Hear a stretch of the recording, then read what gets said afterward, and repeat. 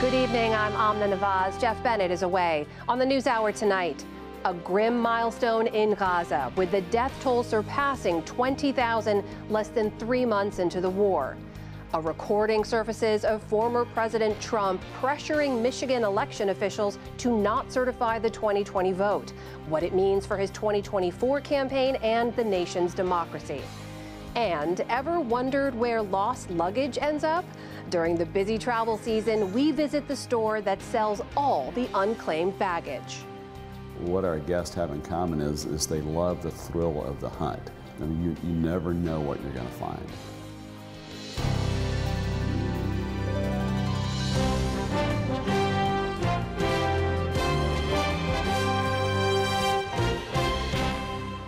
Major funding for the PBS NewsHour has been provided by the ongoing support of these individuals and institutions, and friends of the NewsHour, including Jim and Nancy Bildner, and Kathy and Paul Anderson. It was like an aha moment. This is what I love doing. Early stage companies have this energy that energizes me. These are people who are trying to change the world. When I volunteer with women entrepreneurs, it's the same thing. I'm helping people reach their dreams. I'm thriving by helping others every day. People who know, know BDO. The John S. and James L. Knight Foundation, fostering informed and engaged communities. More at kf.org.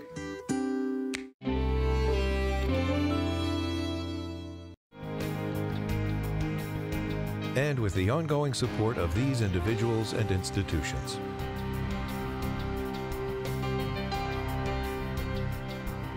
And friends of the NewsHour.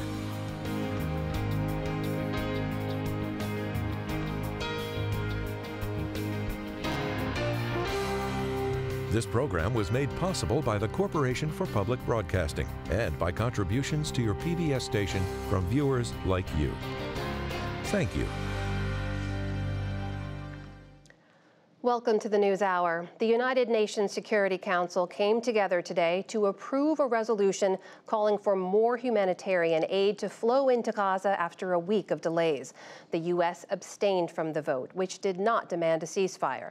In the meantime, American officials are saying Iran was deeply involved in the planning of attacks against commercial shipping vessels in the Red Sea. Bodies and burials overwhelm Gaza. Officials of the Hamas run health ministry say the death toll has passed 20,000. After another airstrike, Anwar Dahir buried the next generations of his family. My daughter, her husband, this is my grandson. He was a baby, four months old. Those lucky enough to survive still face a bleak fate. The few remaining hospitals don't have enough staff or supplies for meaningful treatment. This school has been turned into a field hospital. We can't do anything but gauze and disinfectant. We don't have anything else. We call on everyone, the whole world, to support us in providing medical equipment, providing medicine, lifting the siege on Gaza. Staff at the Al Zawaida Clinic provide what care they can, but without enough early childhood vaccines, these children will be far more susceptible to illnesses like polio or measles. Lama Alafesh is a nurse. We have a shortage of childhood vaccinations, especially those who are newborn babies aged one and two months. Clinical psychologist Walid Omar Hamdan said he worries about the long term consequences, mental as well as physical. Things were fragile somehow before the war, and during this war, things became even worse. The number of psychiatric cases among children, adolescents, and adults has increased significantly. But even with the best medical care, Gazans can't recover without food and water. International aid organizations estimate that half a million people are starving in Gaza and say the situation could collapse into famine. Even if we uh, provide food, but we have many problems like we have no access to gas, so we go to streets to gather some woods to burn the fire and cook the food. Uh, and also uh, a huge number of families, and we don't have food that is enough for them. Aid trickles in through the Rafah crossing and the newly opened Kerem Shalom crossing. But once inside Gaza, aid workers struggle to reach those who need it. Israeli officials say there is no shortage. In terms of food, the reserves in Gaza Strip are sufficient for the near term. The result of the vote is as follows. After many delays, the United Nations Security Council approved a resolution calling for much more humanitarian aid for Gaza. Abstentions? The United States and Russia abstained after a U.S. veto of a Russian amendment calling for a ceasefire. While we are encouraged that the Council spoke out on this humanitarian crisis, we're deeply disappointed, appalled actually, that once again the Council was not able to condemn Hamas's horrific terrorist attack on October 7th. Today, a southern Israel kibbutz said it had determined that one of its residents, an American Israeli citizen, had been killed in the initial Hamas attack October 7th. Kibbutz Nir Oz said Hamas took 73 year old Gadi Haggai's body to Gaza. In a statement, President Biden said, I reaffirm the pledge we have made to all the families of those still held hostage. We will not stop working to bring them home. With American support, the Israeli offensive pushes forward, determined to complete its mission. As Christmas nears, the region prepares for a different kind of holiday. Near Bethlehem's Church of the Nativity, revered by Christians as the traditional birthplace of Christ, rubble takes the place of Christmas lights, a gesture of solidarity with Gaza. Art is a message. Whether it is a painting or art through rocks, it's a message, and this message is that people can see the real scene that Christmas comes during war and hardship.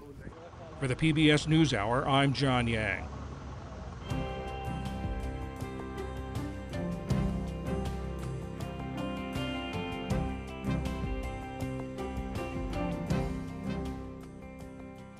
In the day's other headlines, the Supreme Court won't expedite a ruling on former President Trump's claim of presidential immunity for his attempt to overturn the 2020 election. Special counsel Jack Smith had requested the Supreme Court fast track its decision so the trial could begin in March, ahead of next year's presidential election.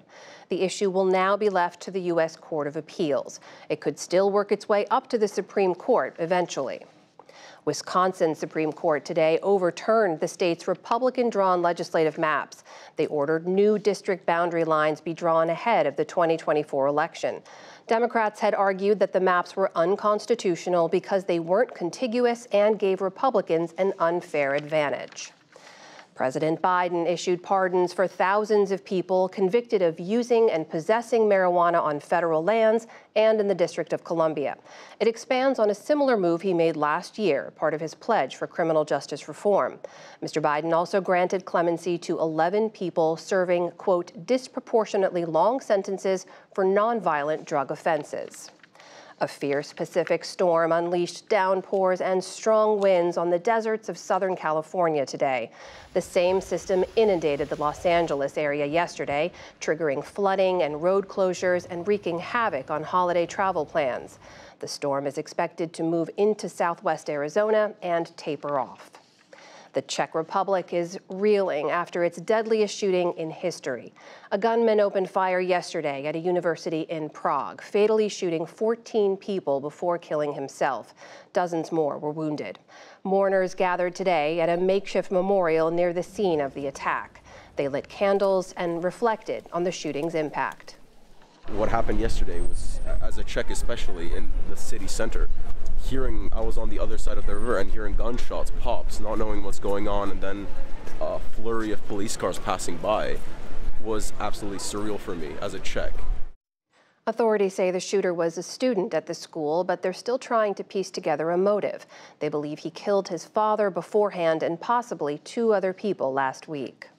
In Ukraine, Russian drones pounded buildings in the capital overnight and regions farther south. The strikes tore through the top floors of an apartment complex in Kiev.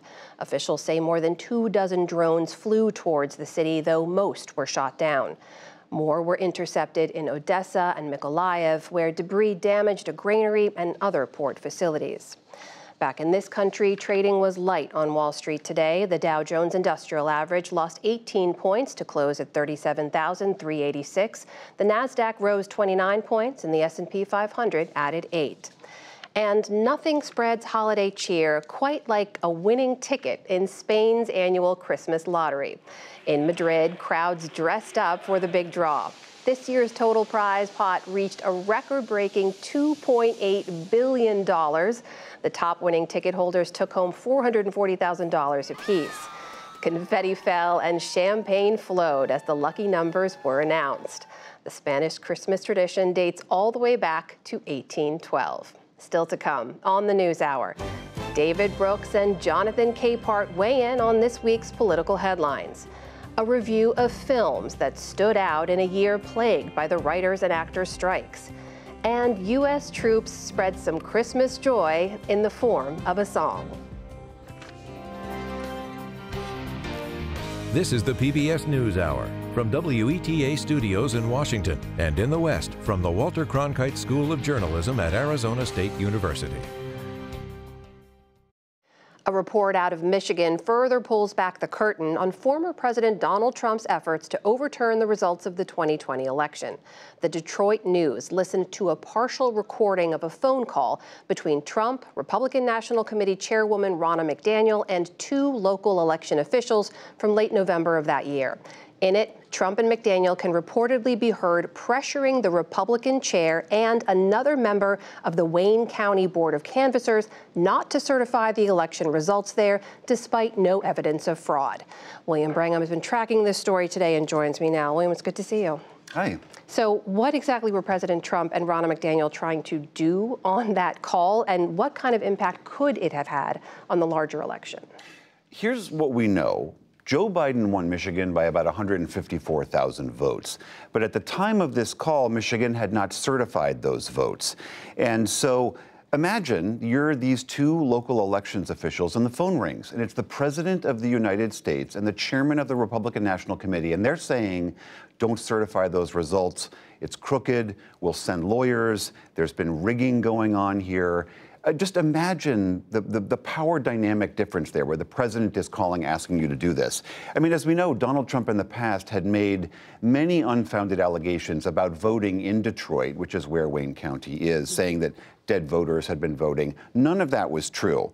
Michigan was about to announce its results, and these two canvassers did try to rescind their certification, but it was too late. Michigan was declared for Joe Biden. Michigan was critical for Joe Biden's election win.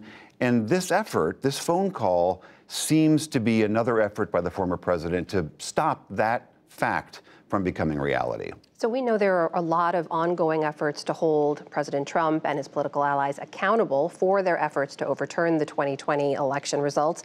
How does this episode fit into those larger efforts? This effort, this phone call, is similar in a way to what we know came out of Georgia, where there's a state case against the former president in Fulton County, Georgia, where he called election officials there and said, Can you guys find me 11,000 votes?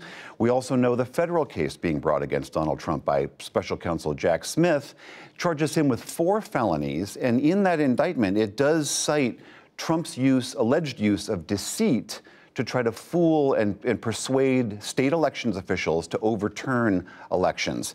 Uh, Wayne County is not in that indictment. We don't know if that's going to end up in evidence in that case.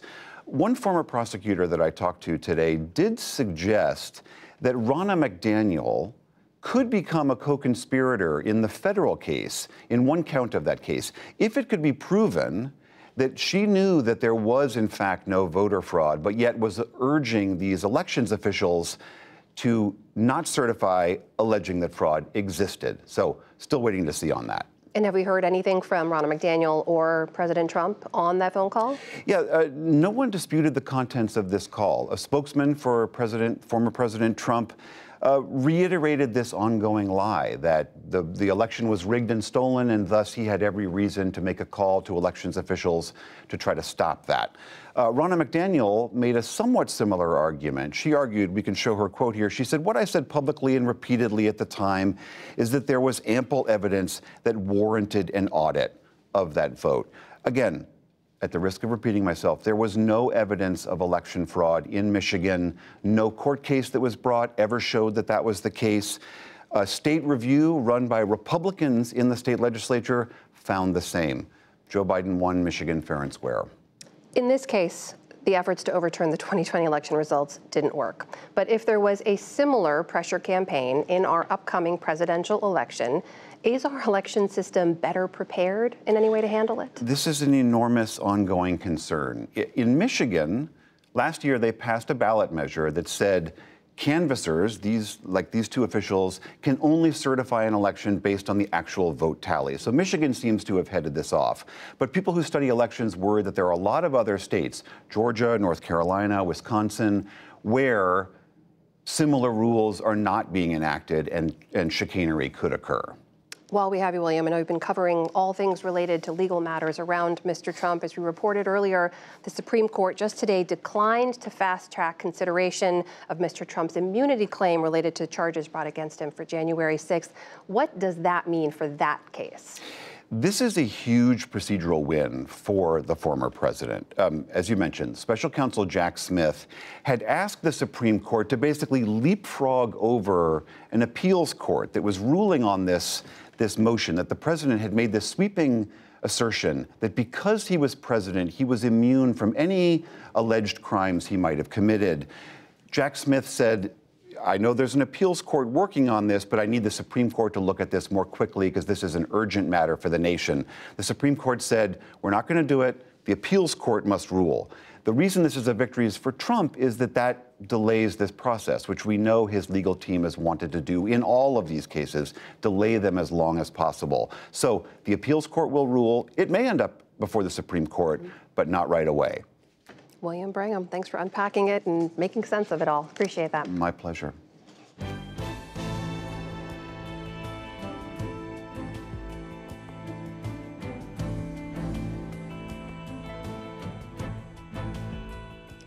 Award-winning Gazan poet Mosab Abu Toha lost his home, some of his friends, and family members in the last two months. On November 19th, he himself was detained by Israeli forces on his way to the Rafah border as he tried to evacuate Gaza with his family and was released only after international outrage. He's now in Cairo with his wife and three kids and joined me earlier to talk about what he left behind and what the future holds for his homeland. Mosab, welcome to the News Hour. Thank you so much for joining us. Thank you, Amna, for having me. Take us back, if you can, to November 19th. Your son is an American citizen, so you and your family were trying to evacuate, heading down to the Rafah border. You were stopped by Israeli forces. What did they tell you about why you were detained? Well, I was taking the Salah ad-Din street, the street that should have been a safe passage for people to evacuate from the northern part of Gaza to the southern part of the Gaza Strip. And on the way, there was a line, and the Israeli soldiers, there was an Israeli soldier calling people by description.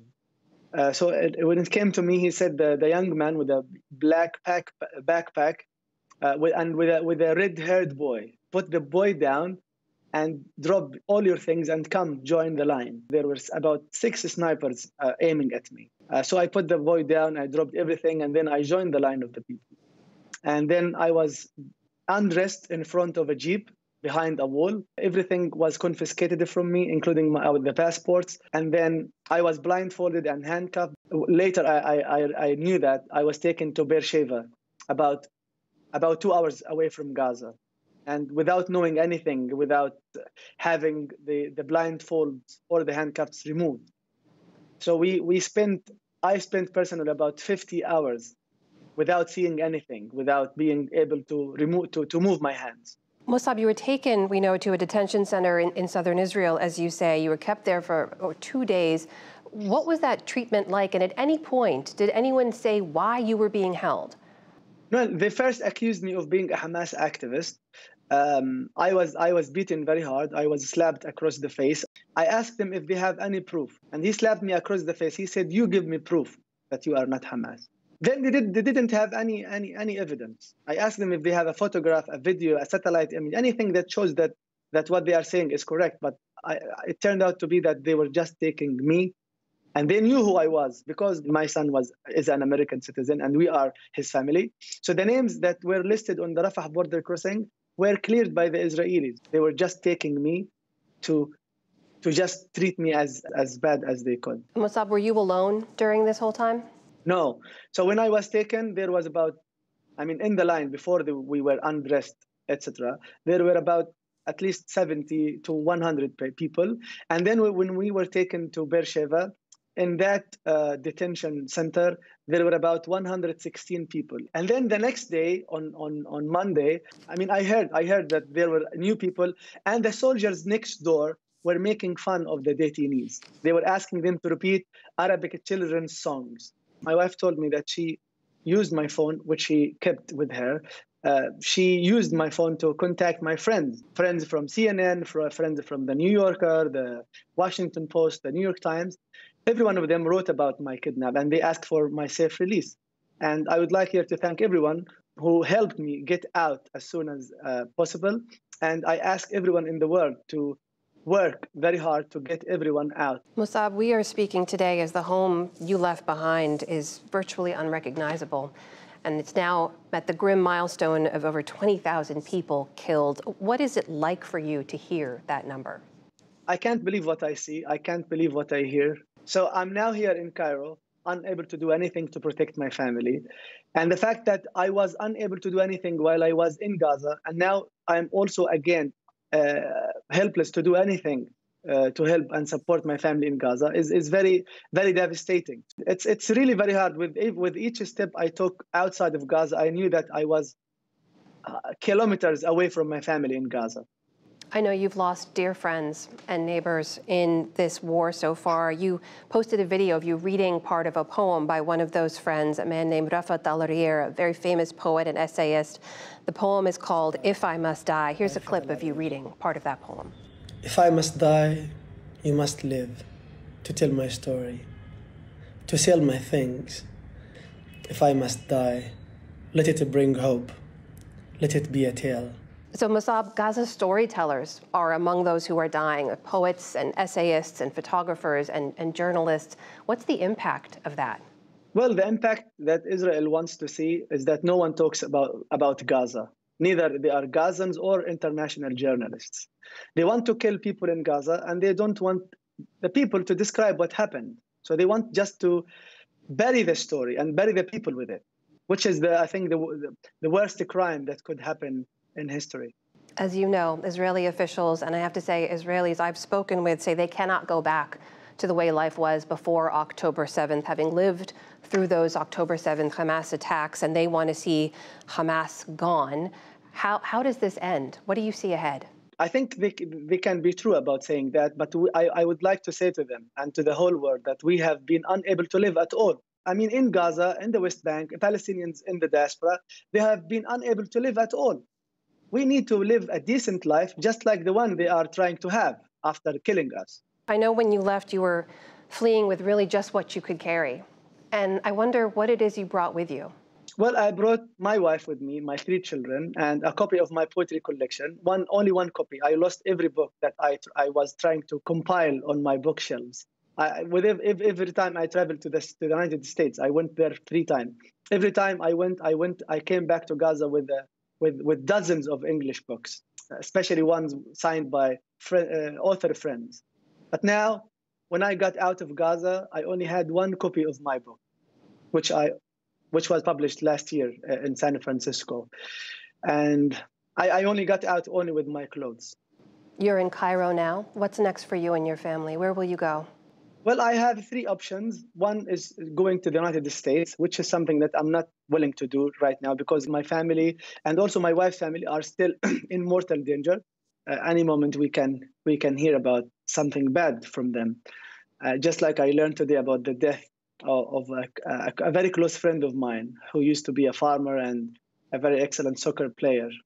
The second option is he being here in Cairo for, for a job opportunity. And the, the third one, which I hope will happen soon, is returning to Gaza and reunite with, with my family. And hopefully, we are not going to miss any one of them. Mosab Abu Toha joining us tonight from Cairo. Mosab, thank you so much for your time. We're thinking about you and your family. Please stay safe. Thank you so much for having me.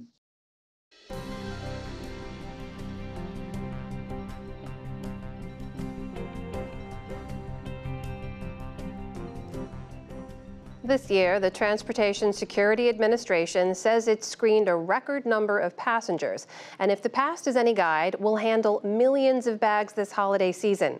But a small fraction of them will go missing and unclaimed. Where do all those lost bags end up? Stephanie Sy has that story. Stuffed bunnies, fancy suits, and pink platform pumps. Welcome to the country's only retailer of lost baggage. Just off the road in the small city of Scottsboro, Alabama, the unclaimed baggage store has everything anyone would need. Except almost all of this once belonged to someone else. I love to see the items that come from all over the world. Some of the musical instruments are just amazing. Jennifer Krittner has been working here for 26 years. She encourages shoppers to check out the store's museum, where some of the more eccentric items found in baggage are displayed. An autographed Michael Jordan basketball is also among my favorite. I'm a huge basketball fan, so that stands out in my mind. She says almost all checked bags, 99.5%, end up back with their owners after the flight. But some bags don't. After airlines launch a three month search to reconnect the owner to their lost bag, the store steps in to purchase that fraction of a percent of bags that are orphaned our team of openers, that's what we call them, they open the suitcases and they really mine and explore those bags for treasures. These items, they're lost and they're, and they're unclaimed and we need to figure out, can we resell this item? Do we need to recycle this item or is this an item that can be donated? Nashville resident Sheila Allen has been shopping here for over 20 years. She says the discount prices keep her driving back. It amazes me the things people put in their suitcases for checked luggage um, like this diamond ring that I have on.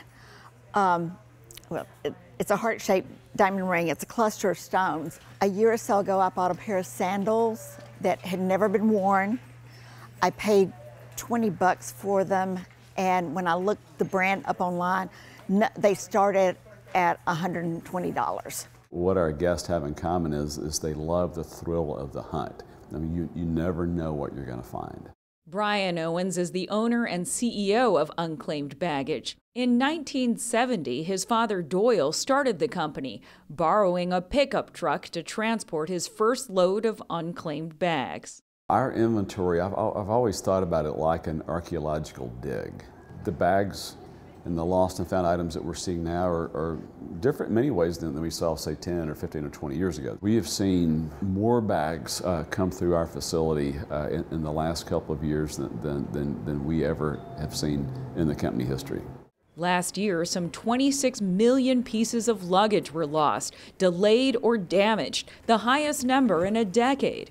People still kind of reeling from COVID um, staff shortages, a lot of expertise lost in the industry. Um, we've seen a surge in the mishandled baggage rate. Nicole Hogg is the director of baggage at aviation data company SITA. She says after high lost luggage rates the last few years, new data shows signs of recovery.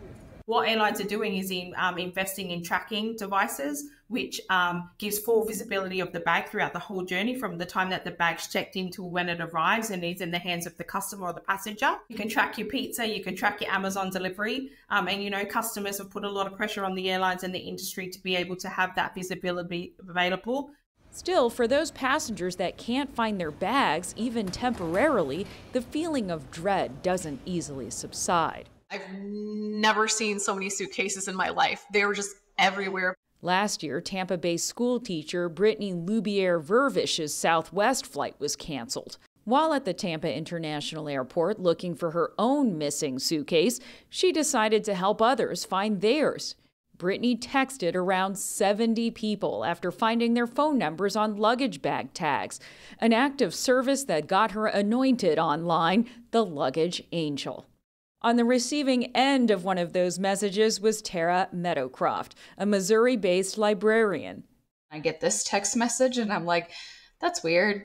I was just staring at it like, who is this? And so I texted back, but I was like, I'm very thankful for this. Here's a gift card because I was like freaking out. I could have been, you know, scrolling through my phone the whole time that I was waiting there, but instead I wanted to do something productive and helpful. Travel is so stressful for so many people. So I did what I could to help.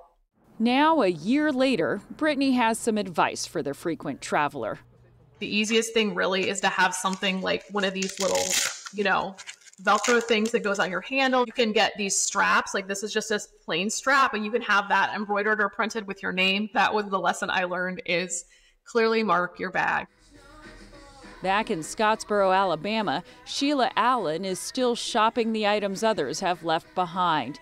She has this travel advice. I make sure when I travel, not only do I have tags on the outside of my suitcase, but I took tags on the inside of my suitcase as to where I'm going, where I can be contacted. So, um, yeah, I don't want to find my stuff here, you know. She says if she ever loses a bag, she'd come right back here looking for it. For the PBS NewsHour, I'm Stephanie Sy.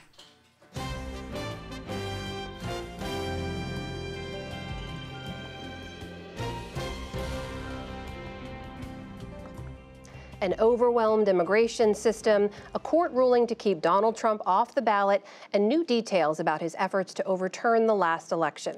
To discuss it all, we turn now to the analysis of Brooks and Capehart. That is New York Times columnist David Brooks and Jonathan Capehart, associate editor for the Washington Post. Good to see you both. Good to see you. So we are seeing record daily encounters at the U.S. southern border once again. Senate went home without a deal. Border policy wrapped up with foreign aid funding. In the meantime, immigration as as an issue, as a concern for Americans, has been rising. In some recent polling by Gallup, you see when people are asked what they think the most important problem the country is facing right now, the top one is government and poor leadership at 19%, immigration is second at 15%, followed by the economy and inflation.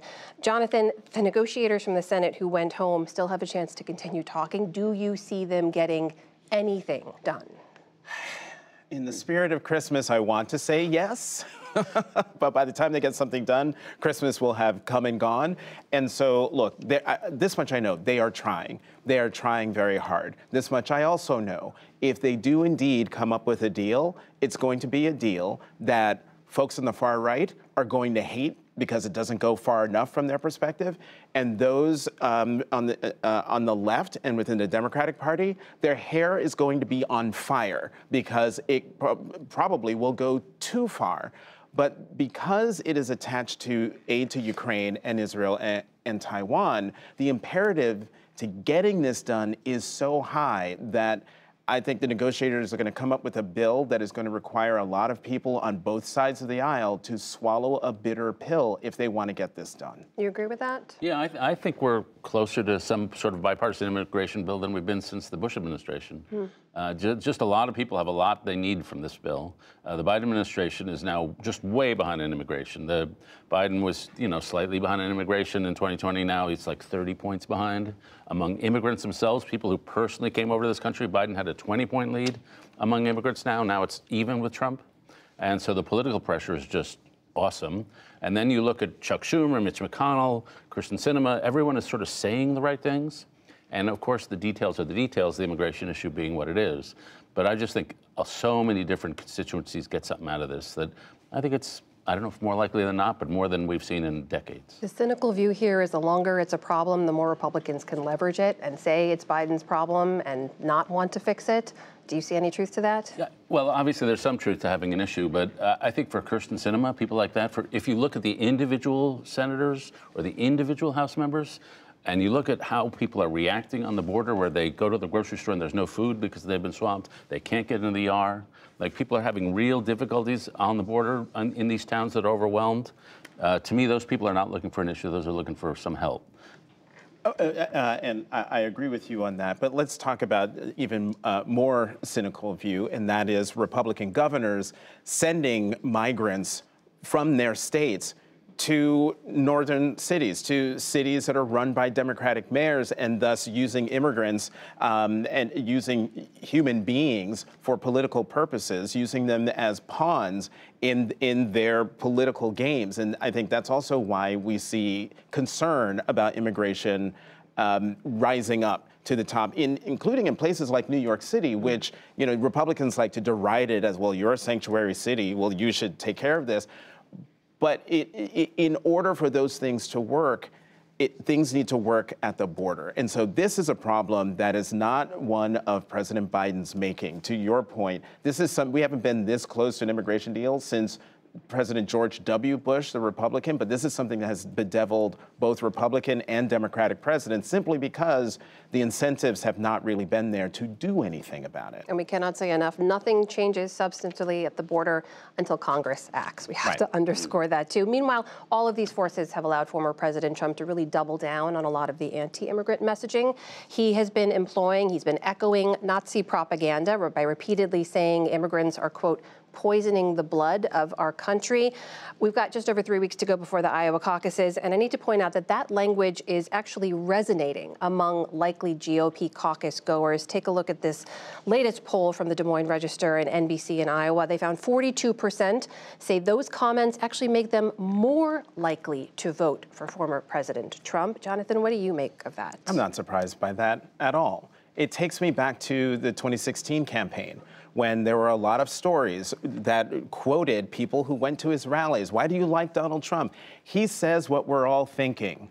He says what I can't say. And it left me to wonder well, what can't you say? Um, he's called Mexicans rapists. He's called for a Muslim ban. This was during his campaign. Now, he's been he was president for four years, so we know what his thinking is. And in these rallies where he talks about immigrants, um, he, he in talking about poisoning the blood of our country, and he spells out they're coming from Africa, they're coming from Asia, they're coming from South America. What he doesn't say is they're coming from Europe.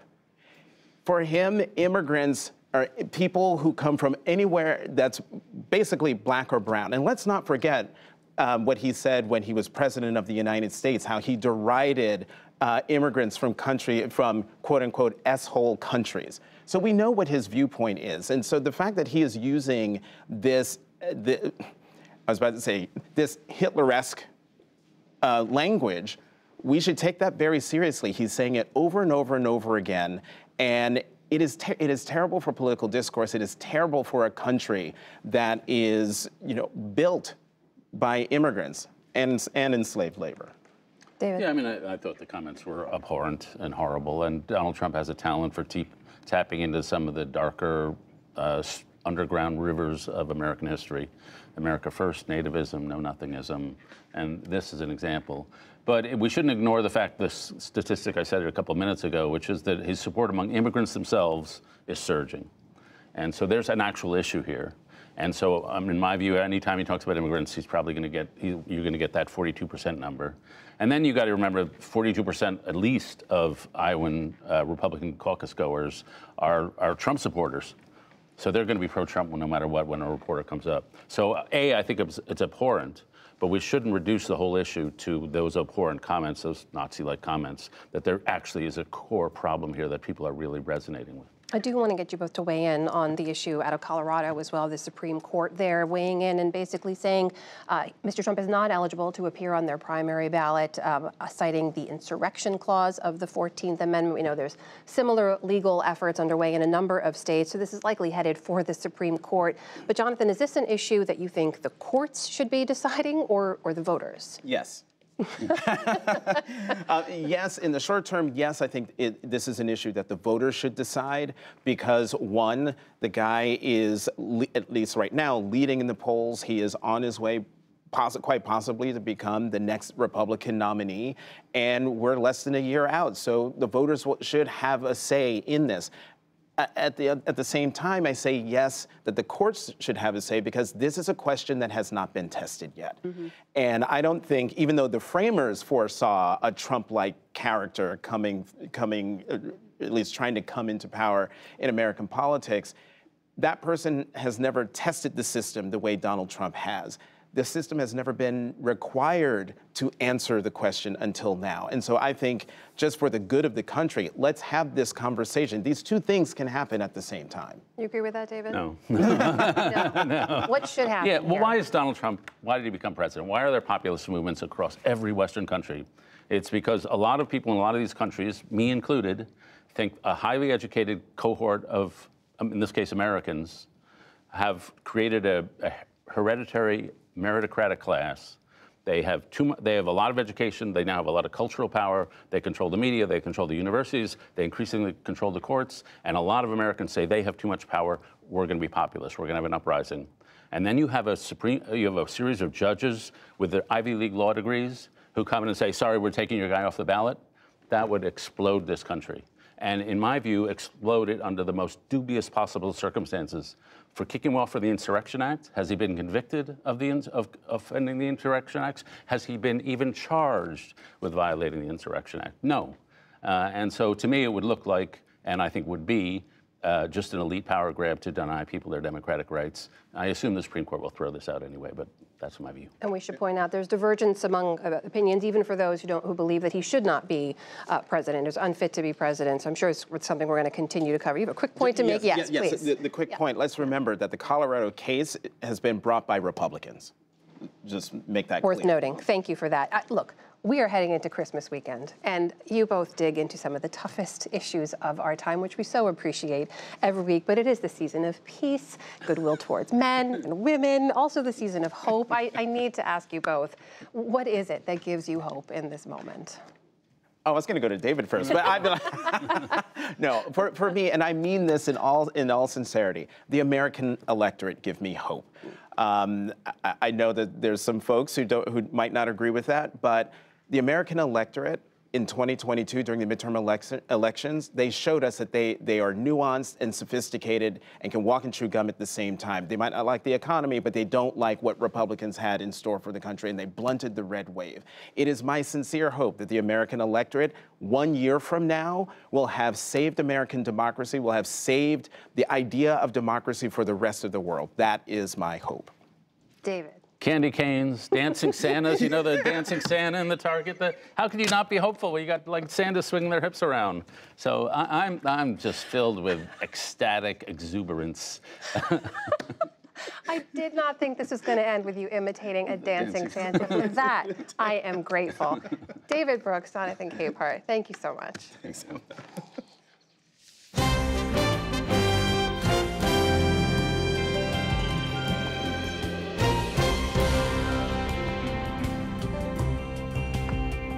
Over the holidays, you might have some time to catch up on new films at home or to venture out to the theaters.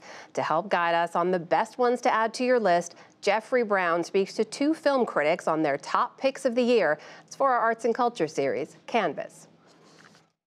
Union strikes caused delays and other bumps in the road in Hollywood this year, but some films still stuck out from the crowd. To tell us about this year's best films, I'm joined by Justin Chang, film critic of the Los Angeles Times, and Linda Holmes, host of NPR's Pop Culture Happy Hour. Nice to see you both. Justin, why don't I start with you? Why don't you give us a couple of your favorites? Yeah, hi, Jeff. My favorite movie of the year really snuck up on me. It's called All of Us Strangers and it's the latest from the English writer director Andrew Haigh. It tells the story of a lonely screenwriter who's played in a quietly gut wrenching performance by Andrew Scott. Yeah, you ready? I'm gonna press it. Merry Christmas. Oh, Merry Christmas. Here you go. Merry Christmas. I don't want to say too much about it. It's a gay love story. It's a drama about parent child reconciliation. And it's also, and this is not a spoiler, it's a ghost story. I haven't seen a more intimate movie this year. Um, what makes it work, I think, is that it's really hauntingly ambiguous on one hand, but it's completely emotionally direct and satisfying on the other. And it features what is, for me, the acting ensemble of the year with not only Andrew Scott, but also Paul Mescal, Claire Foy, and Jamie Bell.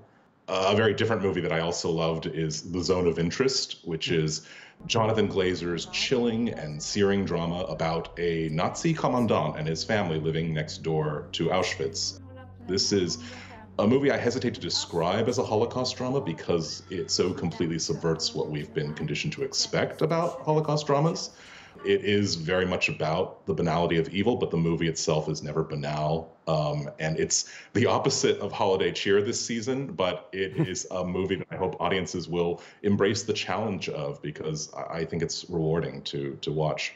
All right, so Linda Holmes, do you have any cheer for us? Uh, those were two independent and pretty heavy films. What's on your list? I did love a lot of heavy films this year, but I'm also happy to, to provide a couple that have maybe a little more cheer. Mm -hmm. um, I am one of the many people who enjoyed Barbie. I very much admired all the crafts that were on display in that film, the production design, the scoring, the costuming, all of that stuff. I thought was was wonderful. And I think the story in the end just was much more interesting. Greta Gerwig in, in writing and directing that just did much more with it than maybe people expected. And another And one I clearly would- struck a chord. Absolutely. Yeah. I mean, theatrical distribution still needs some big hits. That's still a really good thing for theaters, and I was really happy to see that happen. Another one I would mention is The Holdovers, which is uh, from Alexander Payne. And it's about these three people who are stuck over the holiday break in a school. And it is Paul Giamatti as this very grumpy teacher, uh, and then a, one of the kids that is in his class, and then the woman played by uh, Da'Vine Joy Randolph, who plays the woman who runs the food service. And they all get stuck there. I think it's a beautiful movie. It's very generous to its characters. And to me, it's warm without being cloying. That's, that was how I, I responded to it. You know, Justin, I was just thinking about Barbie, getting back to this big and small and that moment of Barbie. And I think you had Oppenheimer on as one of your favorites from the year. That moment of Barbie and Oppenheimer, was that a, how does it feel now? Was it a one off? Did it have a lasting effect? It's hard to say. I mean, it did feel like one of those unpredictable and perhaps unrepeatable phenomena. I remember going into a theater, not even to see Barbie or Oppenheimer, both of which I enjoyed very much in different ways. Uh, I went to see another movie and just seeing theaters like crowded on a Monday night. And I, I think the lessons of both these movies is that personal vision and uh, big budget blockbuster filmmaking can and should merge together in a way that they so rarely do. My concern about it is that um, it, was so heartening to see two filmmakers that I respect as much as Greta Gerwig and Christopher Nolan succeed in this way. My fear is that it just contributes to the eventization of movies. You know, I love event movies. I love being enthralled with an audience to a really big, glorious vision. Um, but as a film critic, I'm concerned with the audience going to movies on a regular basis to make it a regular part of their their entertainment diet rather than just an exception. But what a glorious exception it was. Want to give us another one that uh, fits any category you like? I mean, what are you telling people at this time of year that they I- should see? I cannot resist bringing up one that I really liked that I know Justin didn't like at all because I think Oh. sometimes that's the most interesting, which is Saltburn, which is this very extravagantly vulgar, loopy thriller that was made by Emerald Fennell, who made Promising Young Woman a couple years ago. My parents, they've got problems. What kind of? What do you mean problems?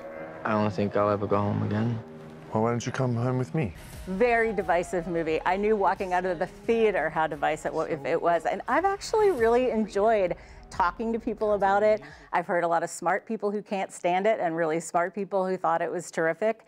It's it's my favorite thing that happens is when people have smart conversations about divisive things. Ah, okay. Well, Justin, you can either push back on that or maybe go positive and come up with another one that divided people but you liked. In a spirit of holiday charity, I will say that while I did not like Saltburn, as Linda says, I do think that Rosamund Pike gives one of the great comic performances of the year in it. And Jacob Elordi, who's also great in Sofia Coppola's uh, Priscilla, really does terrific work in Saltburn as well. So, um, That's but very another movie- Very generous. You're welcome. Um, another favorite of mine uh, to branch into animation is The Boy and the Heron, um, which uh, is the latest and maybe the last, although we've heard that before, from the 82 year old Japanese anime master Hayao Miyazaki. If you like Spirited Away and Princess Mononoke and Howl's Moving Castle and other Miyazaki films, it's a safe bet you will like this one too. Um, it's a gorgeously drawn and surreal and inventive piece of animation. But what makes it so moving is it's also very much the story of an older man, perhaps Miyazaki himself, looking back at a younger version of himself and and asking questions like how do we reconcile the pain of the real world and the escapism of fantasy. Um, it- it's a beautiful film and, and I think a profound one too. And just in our last minute, Linda Holmes, uh, as, it's hard to talk about this year without, of course, thinking about the strike. Do you see any impact now, or are you looking for it to come, or where, where does, has that left things? You'll see some films that are delayed. There are some that are already being delayed, so it's going to take a while for the um, schedule to kind of reset. But I, you know, I, I was so heartened by the fact that, you know, we've mentioned just a handful of movies here, but there are uh, so many that were great this year that are still coming out. American Fiction is great. I like The Iron Claw, which is about to come out. Justin, brief last word? I am just heartened by the fact that, as devastating as the strike was, you know, I think writers and actors are happy to return to work. And I think they've seen that the power that solidarity can accomplish and that they can and should be remunerated in accordance with their work. I mean, they make this business run. And so uh, I it's it's just a shame that um, it took the devastating losses and and and just uh, pain of the strike um, in order to accomplish that. So, but hopefully the season will be a good one for all of them. All right, Justin Chang of the Los Angeles Times, Linda Holmes of NPR Pop Culture Happy Hour. Thank you both very much. Thank you. You for having me.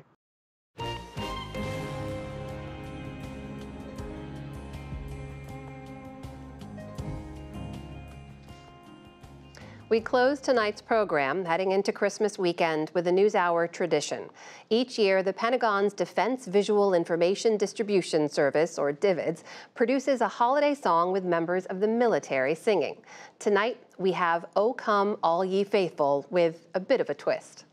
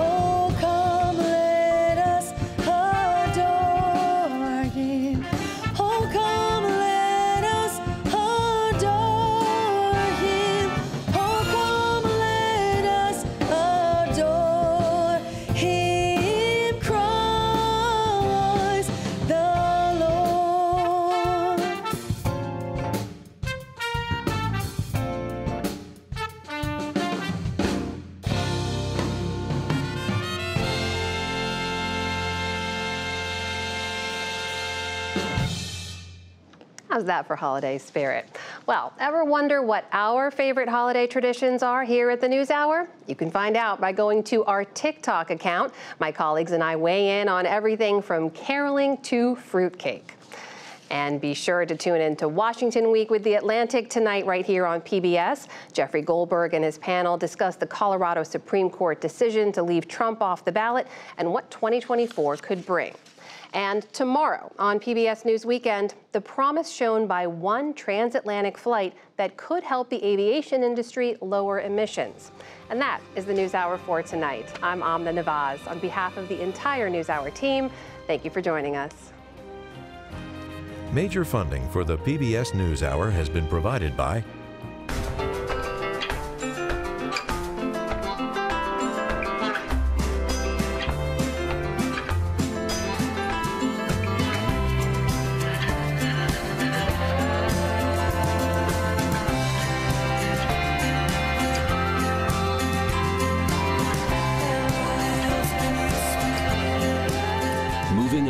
economy for 160 years. BNSF, the engine that connects us.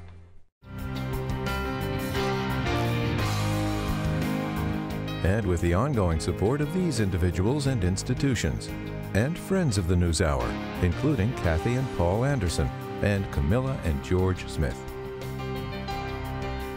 The Walton Family Foundation, working for solutions to protect water during climate change so people and nature can thrive together.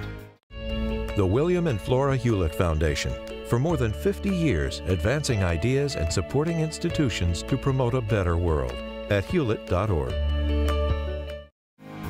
And with the ongoing support of these individuals and institutions.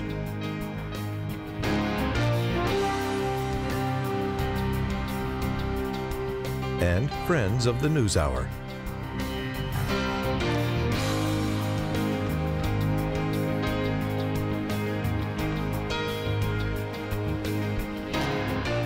This program was made possible by the Corporation for Public Broadcasting and by contributions to your PBS station from viewers like you.